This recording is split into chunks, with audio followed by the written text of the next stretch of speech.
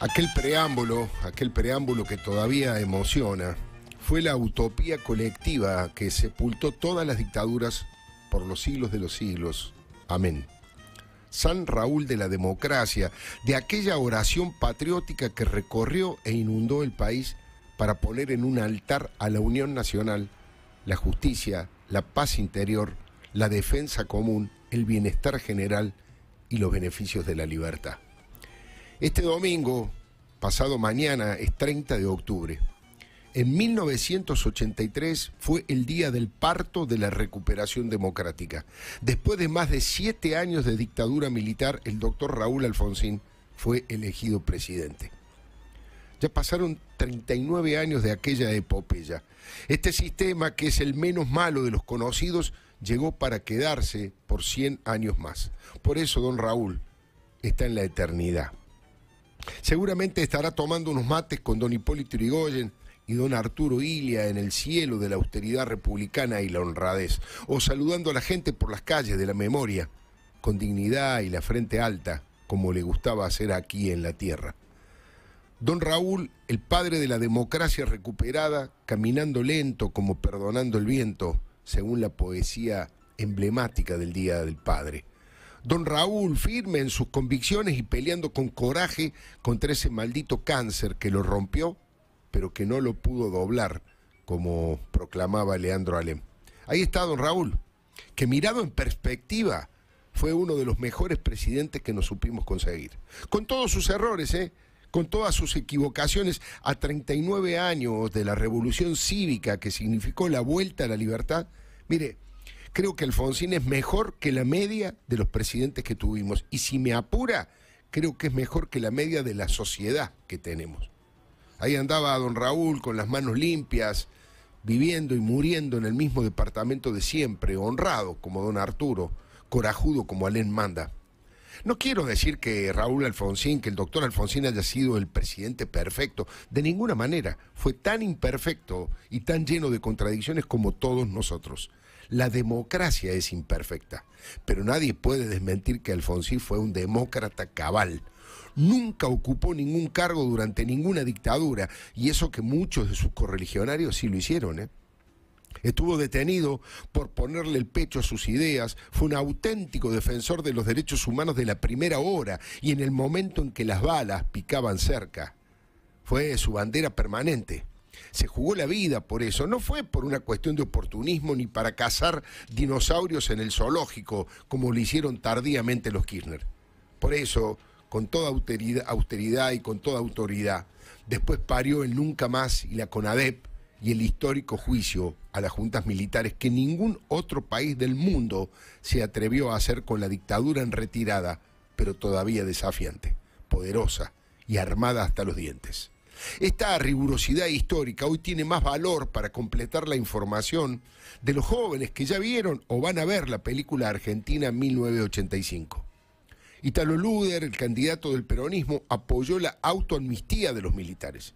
Y como si esta claudicación fuera poco, también el peronismo se negó a integrarla con ADEP.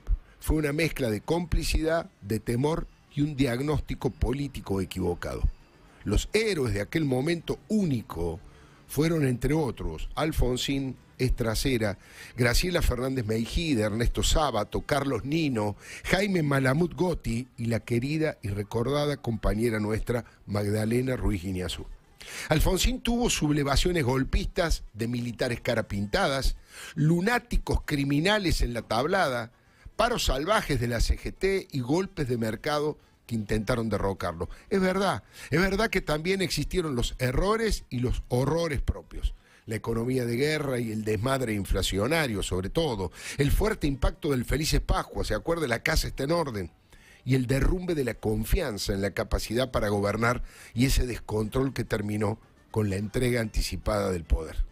Si tratamos de ser lo más ecuánimes y rigurosos posibles, aparecen las luces y las sombras de una gestión pero el paso del tiempo y la comparación con lo que vino después lo deja a Raúl Ricardo Alfonsín del lado bueno de la historia, en la vereda del sol, entrando a los libros como un héroe que se definió como el más humilde de todos los servidores del pueblo. Nadie puede negar que fue un patriota.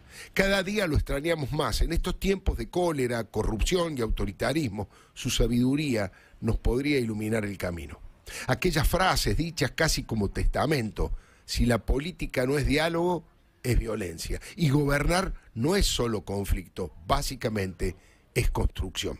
Algo así como decir que la palabra enemigo hay que estirparla del diccionario político, que solo hay que marginar a los golpistas y a los corruptos. Cada día es más necesaria su apuesta a la coexistencia pacífica de los diferentes, a una república igualitaria y a la libertad. Raúl Alfonsín fue el partero del periodo democrático más prolongado de toda la historia. Siempre será como un símbolo de la luz de las ideas que salieron del túnel de la muerte y el terrorismo de Estado. Jamás olvidaré una discusión muy fuerte que tuvimos. Yo fui, reconozco, muy irrespetuoso con su investidura. Como director de una revista edité y puse en tapa una investigación que dudaba de su transparencia y la de su hermano. No lo hice con mala intención, ¿eh? no hubo real malicia, como dirían los abogados. Fue el intento tosudo y permanente de mirar en forma crítica al poder y a los gobiernos.